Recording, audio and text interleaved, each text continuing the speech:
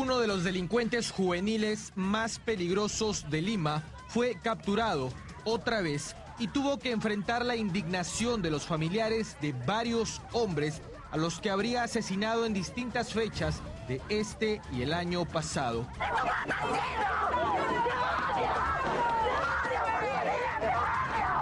Asesino, le gritan a Juan Snyder Castro Medina, alias Nando, presunto autor no solo de uno, sino de cuatro asesinatos, entre ellos el de un agente de inteligencia de la Dirandro, acribillado en un car wash de Chorrillos.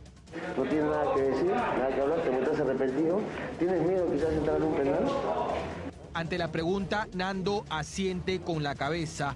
Ahora, al parecer, tiene miedo, pero según la policía, a este sujeto no le temblaba la mano al delinquir y eso se refleja en el amplio historial criminal por robo, tráfico de drogas, extorsión y sicariato, delitos cometidos presuntamente junto a otros miembros del clan criminal Los Injertos de Chorrillos. ¿Cuál es tu nombre? Nando, tu nombre. ¿Cuál es tu nombre?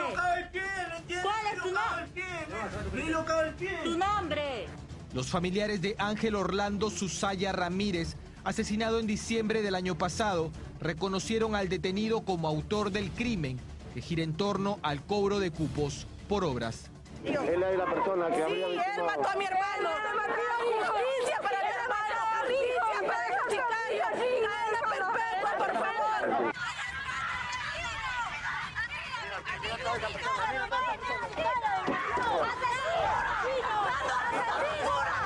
Hasta donde se sabe, una de sus últimas víctimas sería Carlos Enrique Jesús Marsal Campos, de 23 años, asesinado el pasado 21 de mayo en el Parque San Juan de la Libertad en Chorrillos. La madre de Carlos también pide una sanción severa para alias Nando. Justicia, yo pido justicia.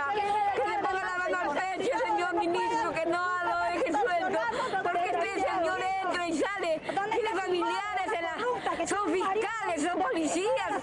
Por eso hace lo que le da la gana, señor. Según el mandato del Juzgado Penal Permanente de San Juan de Miraflores, Nando permanecerá detenido preliminarmente siete días hasta esclarecer su nivel de responsabilidad en los presuntos delitos que se le imputan.